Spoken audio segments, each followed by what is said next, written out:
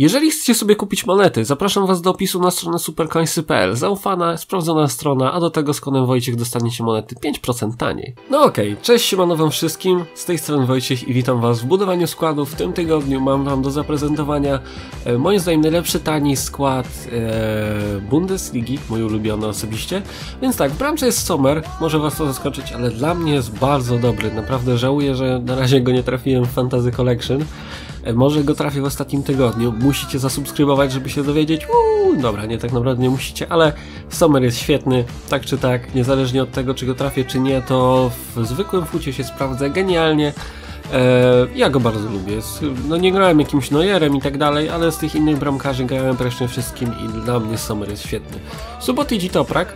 Może was zaskoczyć brak Felipe Santany, ale mam wrażenie, że Felipe Santana w tym roku jest taki sobie ze względu na to, że w tym roku mniej się liczy tempo na tych obrońcach, a bardziej się liczył te umiejętności defensywne, czy to jakieś pozycjonowanie i tak dalej, a w tym Santana nie jest zbyt dobry.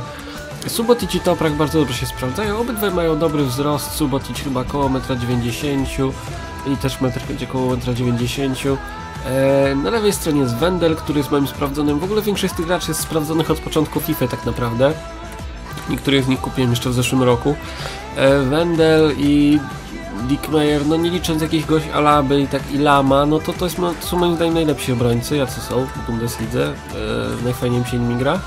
E, SP, Gundogan i Januzowicz, Jan, czekajcie, to jest, e, bardzo teraz źle mi poszło, e, Junuzowicz, Junuzowicz, Junuzowicz, tak dobrze mówię, Junuzowicz e, jest mega fajny, ma cztery gwiazdki sztuczek, jak wszyscy w pomocy um, i ma bardzo dobre wolne, jeżeli dobrze pamiętam, przy czym no, Gundogan jest chyba najlepszym SP takim typowym w Bundeslidze, jest bardzo, bardzo zbilansowany i bardzo fajny.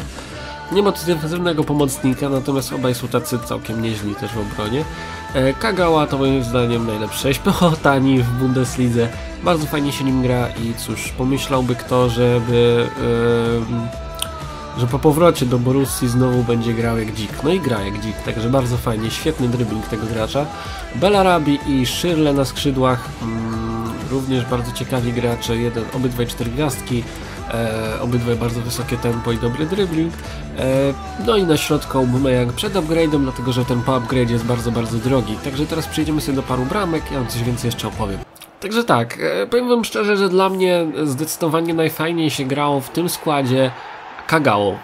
E, szczerze wam przyznam, że Shirley dla mnie jest fajny, ma bardzo dobre strzały, ale jego dribbling nie czuje się jakiś taki świetny, nie? On ma niby dobry dribbling, 82 chyba czy 3, ale tak czy tak jest kurde jakiś taki, nie wiem, wydaje się, że jest mniej taki zwinny niż powinien być, a Kagała się wydaje niesamowicie zwinny, ma po prostu taką taką właśnie tą równowagę, zwinność, te takie statystyki musi mieć bardzo dobre, kontrola nad piłką, jest taki jak ma taki japoński Messi, no taki azjatycki Messi trochę. Strasznie fajnie mi się nim gra. Oczywiście Aubameyang to jeden z najlepszych napastników w grze i zasłużenie dostał teraz upgrade'a z tego co wiem. Także no, jakby ktoś szukał jakiegoś takiego bardzo... no przepraszam, jakby ktoś szukał bardzo dobrego, silnego i szybkiego napastnika, to zdecydowanie to jest ta osoba, której szukacie. E, obrona jest solidna, wbrew pozorom e, Wendell jest bardzo dobry, moim zdaniem, tak samo Dick Meyer. E, do tego Dick Meyer jest bardzo wysoki i szybki, także to jest też bardzo, bardzo duże plusy jak na obrońcę z niską w sumie sumą, nie?